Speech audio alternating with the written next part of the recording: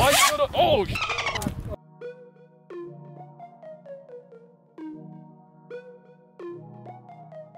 If you are watching this video, chances are you and I have something in common. Whether that be anime, filmmaking, movies, drones, cool stuff, you are here in the right place. And we're talking today about something that encapsulates all of those things. If you know me or watched any of my videos or subscribed to the channel, my name is Kai. And for the last year and a half, I have been messing with these guys. With that little guy in the wall, this is the FPV system. And this basically allows me to put on these bad boys and I can look through the eyes of my drone and fly acrobatically, whether you want me to do flips, rolls, go through windows, go above buildings, dive down buildings, you name it. It is now all possible with this incredible new technology, FPV, and combining that with these guys. These are GoPros or action cameras. You can slap them onto your drone because they have enough thrust to be able to carry them. And now we can get some really juicy, nice, high quality 4K, even 5K footage with these GoPros. Only issue is that if we want to take this a step further, like my dream is essentially to be able to use these guys to film on movie sets, whether it be a Marvel film or a live action anime or an action John Wick type of deal. I want to be able to pilot these guys in a very specific way so that I can do these rolls and flips and be able to complement the action using these awesome cameras. But if I'm to be on the big screen, if these drones are going to make it into cinema, we can't be using these little GoPros. They're awesome, but still they have a long way to go before they can catch up to cameras like this, which is the Sony a6500 I'm using right now, or the a7 or Blackmagic, or any of these top of the line digital cameras that get bigger and bigger and bigger. It gets way bigger. So I would not be able to use this to carry something so heavy like this guy. So what we need to do now is we need to take it a level up.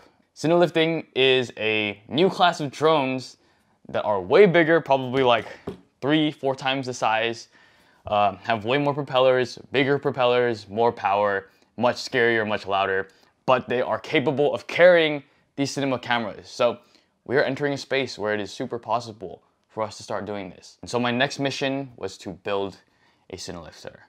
And let me tell you, this was quite the mission. Uh, building one of these guys, uh, an FPV drone, was already pretty challenging for someone just jumping in with uh, cold feet, but this guy was a whole new level. This was twice the amount of carbon. This was eight motors instead of four. Pillars are way bigger, way more parts, way more electronics to wire, way more bugs to troubleshoot. Oh my goodness. It was not super easy, but thankfully, because of the internet and because of kind people on Facebook, the FPV Cinelifters group, uh, YouTube videos that people have been kind enough to make and share their own journeys, I was able to finally figure out. And after maybe like a week of trying to build, yes, it took me a week. It'll probably not take me any longer. Um, but in the future, now I know how to do it. And voila, we had it complete. So after a week of finagling, building, realizing it didn't work, and then trying to build it again, and reassembling and doing all of that we made it happen. We actually managed to construct it. So let me show it to you guys right now. This is a five inch FPV drone. It is um, a pretty standard drone. This is what you'll see most FPV pilots rocking. It is powerful enough to carry a GoPro and maybe like mini cameras that are slightly heavier, but this is still not enough to carry the big cameras. What can carry the big cameras is this guy.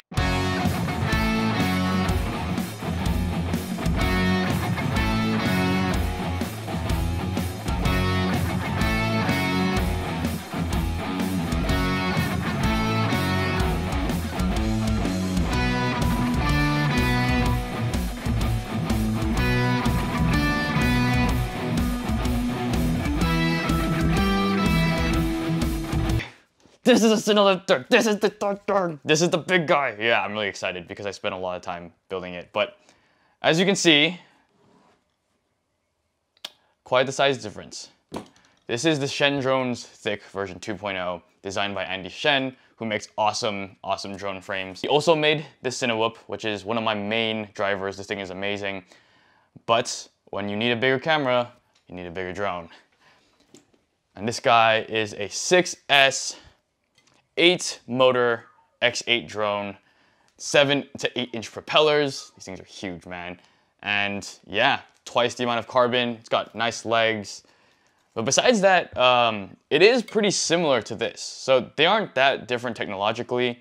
This is just super big. It's really scary and really freaking awesome to fly around. so this is a 4S battery. This is what goes on top of this guy.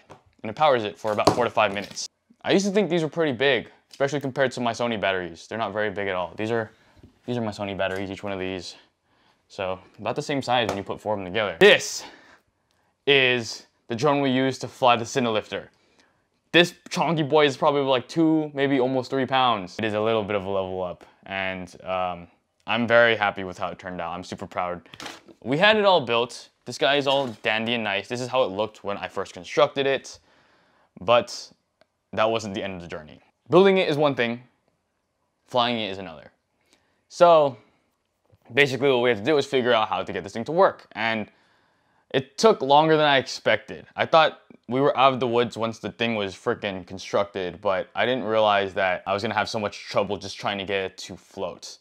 I, so what I did was my very first flight test, I took it out to the field um, with a few friends and a few fellow pilots, and we actually, I spent like maybe the whole day just trying to get it to float. Uh, I put it down, put the propellers on, we armed it the first time, I thought everything was all right. They spun up, which is what they're supposed to do, and then we used the throttle and we pushed up a little bit and it flipped over. And that didn't work. I couldn't figure out why. Uh, second time we tried it again, it was doing this weird wobbling thing. And yeah, I, I really didn't, I couldn't figure it out for the life of me. I thought it was, I thought I was dumb. I thought I had put it together wrong. Um, or maybe there's something about the electronics, but I knew that it was there. It was spinning. It just had to coordinate well, enough for these guys to work together and actually get off the ground. So after like our fifth, sixth, seventh attempt of flipping over and just like things just being very, very scary, this thing is terrifying. I'll, let me tell you, um, I don't know if you've ever seen my fingers, but I've gotten cut by my five inch drone before and it wasn't pretty. Uh, it, it, was actually pretty bad and I still got the scars. Um, so I really don't want to get hit by this thing. I don't want anybody to get hit by this thing. Um, and so we took it out again. We crossed our fingers, prayed to God, and it took off. It took off uh, the sixth or seventh time, and oh man. Let's freaking go, it worked! It worked! I want to say that that was probably the most rewarding part of this experience. But I would be lying because you don't truly have a cine lifter until you're lifting cines, cinematic cameras. Yeah, so the next thing we had to do was strap my baby, the Sony a6500 onto the drone. So this is the drone and that's my camera right there. This Sony a6500, I've had it and I've been using it for almost four years now. I brought it to China with me when I went to study abroad and it has been my main pilot. That's a toilet. That has been my main pilot ever since I started. And oh man, it's my baby. So um, I really didn't want it anything bad to happen to it. And if you fly FPV drones, then you know how normal it is for these things to crash. Crashing is almost part of the game when you're learning.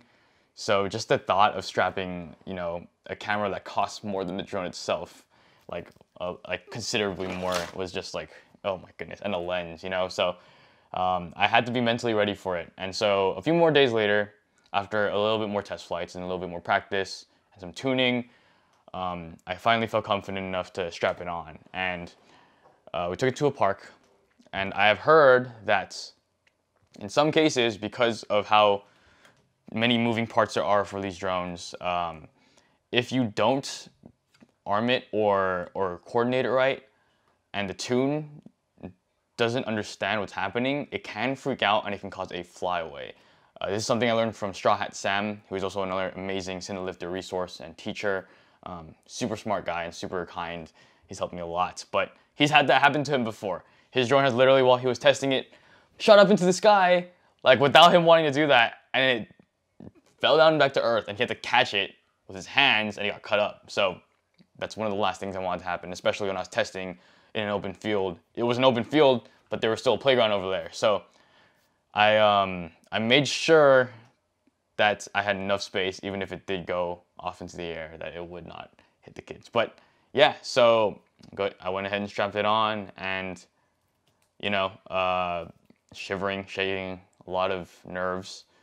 Um, but we just sent it. We just armed it and we hovered it and we had liftoff.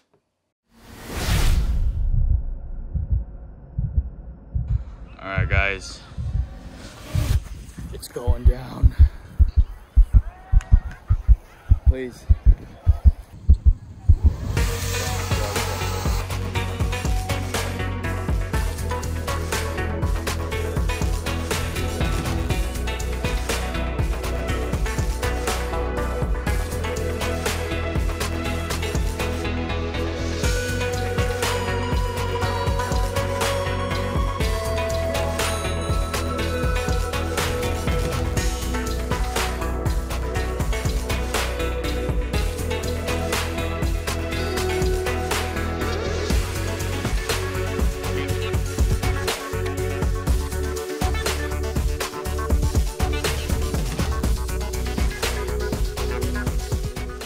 That test, we got our very first successful cinematic Cinelifter footage with the Shendrones Thicc and the Sony a6500. While it's not perfectly tuned, as you can see in the footage, it's still very shaky. You can see a lot of jitters because there are just so many parts to this drone and so many things you have to do to make it fly smoothly, which I'm still working on. This was a step in the right direction, especially considering what with what people have been doing um, already with Captain Vanover on Justin Bieber's music video and Johnny FPV and people Mr. Robot, you know, like they've been using FPV. Taking it to the next level is gonna be just amazing. And I can't wait for more opportunities to use it. It's gonna be scary, not gonna lie, like this is just the beginning of the journey. Um, if you are gonna get into cine lifting or FPV drones and you're gonna go on set with them and you're gonna fly, you understand that there are real life consequences every time you take off. We have to do our due diligence, we have to learn, make mistakes on our own when we have the space and the capacity and the safety, and then take it out into the real field and get that footage that has never been gotten before. It is really a journey, and I love the high risk of things. I love the high risk and the high reward. And if you like these things and you, think this is something you enjoy, whether it be FPV or making films or telling stories, then I highly recommend and highly would love for you to join me on my journey. Please go ahead and subscribe if you liked this video or you like what you see because you will definitely be seeing more of it. Thank you guys for watching. Um, I will see you in the next one and we are just beginning. This has been Kai and I'll see you next one. Peace.